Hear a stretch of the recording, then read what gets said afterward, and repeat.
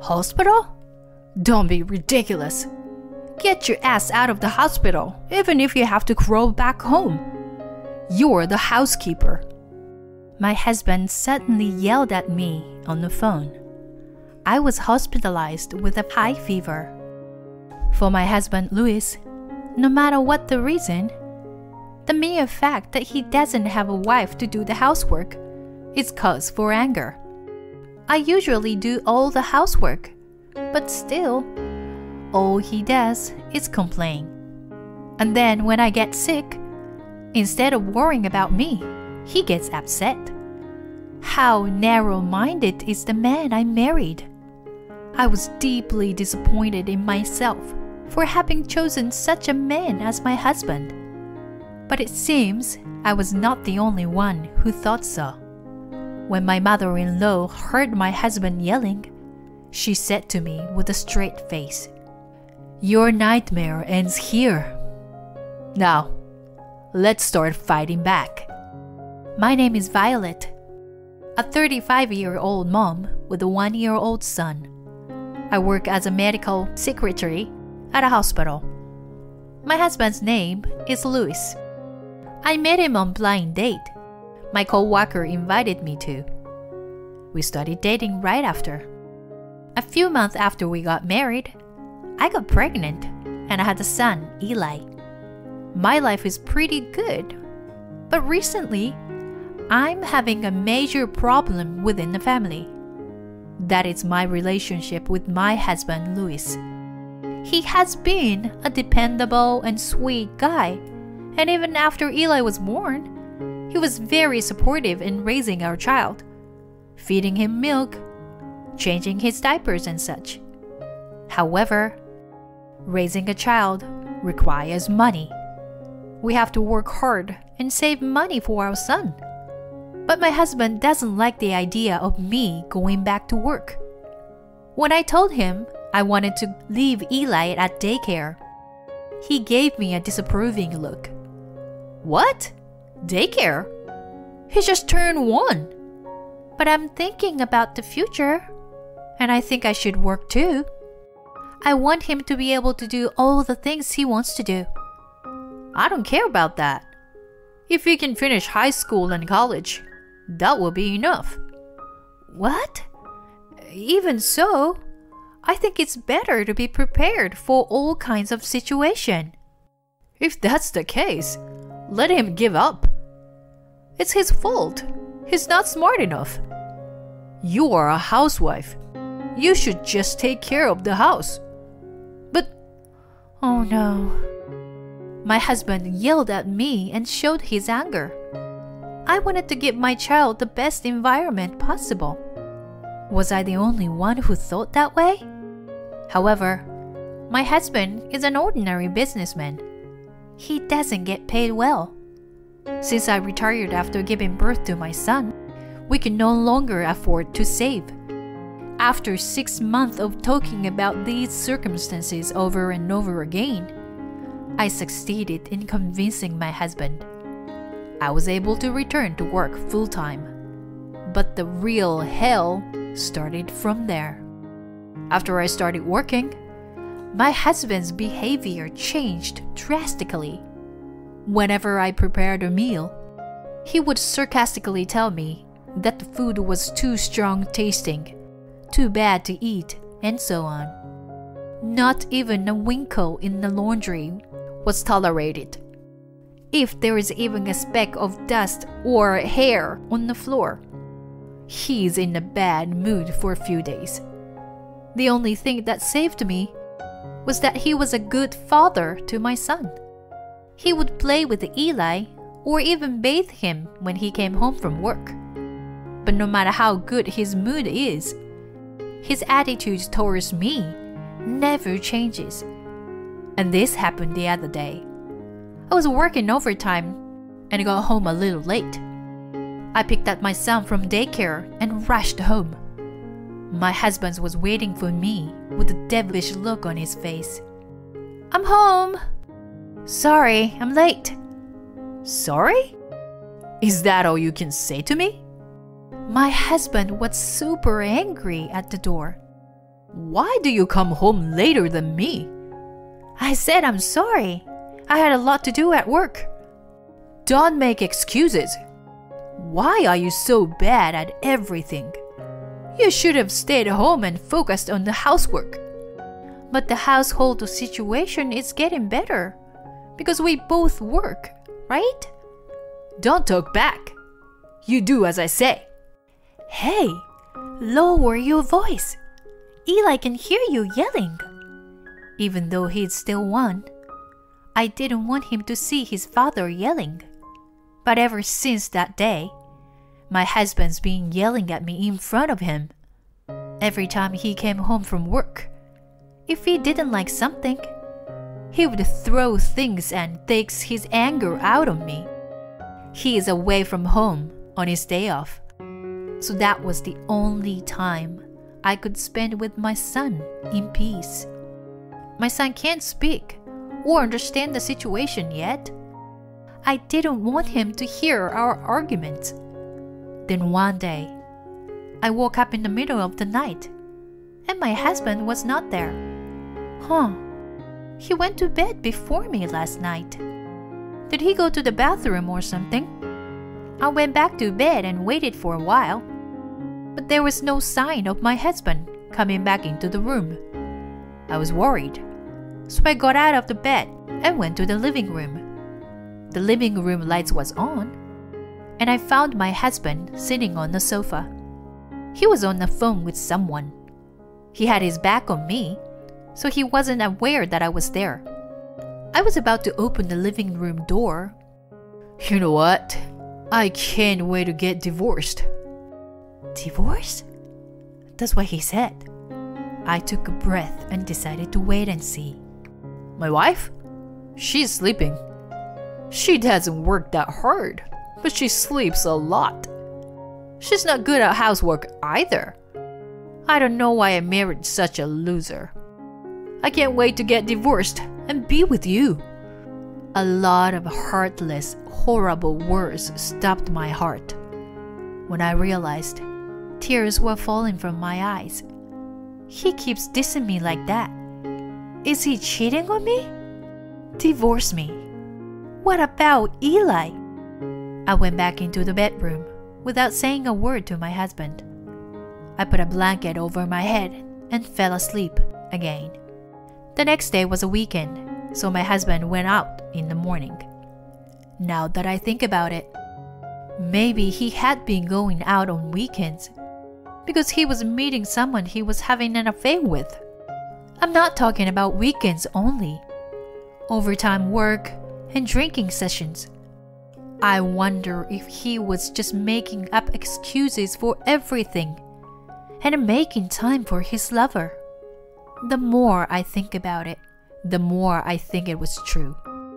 What if he really was cheating on me? What will happen to Eli? Suddenly, I was overcome with anxiety, and just like last night, I began to cry involuntarily. That's when it happened. The intercom rang, and I came to my senses. I opened the front door to find my mother in law standing there with a gentle smile on her face. Long time no see, Violet. I missed you. Oh, hi. Good to see you. But what's up? You used to come over to our house. But you got busy with your job, didn't you? And I wanted to see baby Eli. So, I came to visit. I see. Thank you. I'm sorry it's been a while. It's okay. Raising a child while working full time must be hard. You're a great mom, Violet. My mother in those words of encouragement brought tears back to my eyes.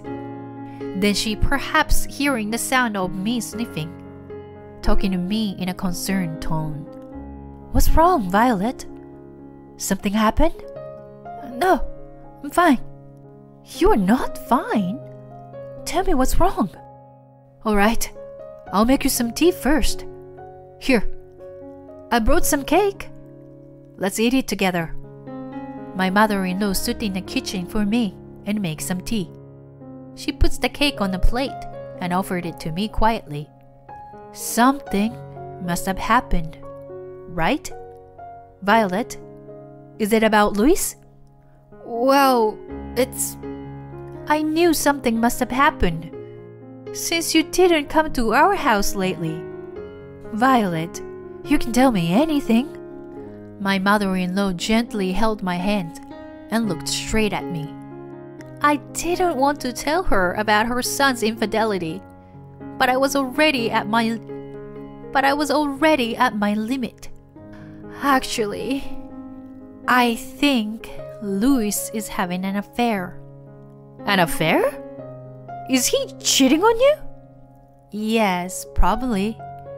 I heard them talking on the phone last night. He said he wanted to divorce me. What? I'm gonna talk to him right now. Where is he? I don't know. And even if I question him now, I don't have any proof. Proof?